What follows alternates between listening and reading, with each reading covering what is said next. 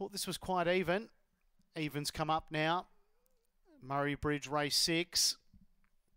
Green light given. We stand by for a start here. Here comes the lure. This is the six at Murray Bridge. Stand by. Ready.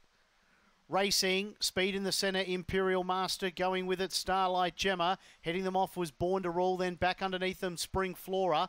Then came Finish Charm, some interference behind them. Chopping out of it, Marissa's Girl. Also uh, came Major Tom Fury, then Mum's News. Last of all, Starlight Gemma, they turn. Born to Rule in front, going with it, Spring Flora. Spring Flora, Born to Rule, they drive to the line. Spring Flora, Born to Rule a photo.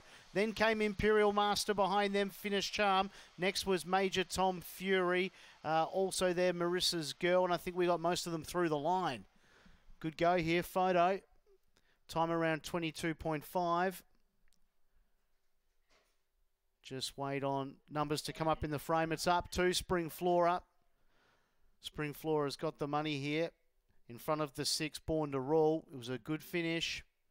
Fourth ran third, Imperial Master and eight up in the frame for fourth, and that is Finish Charm.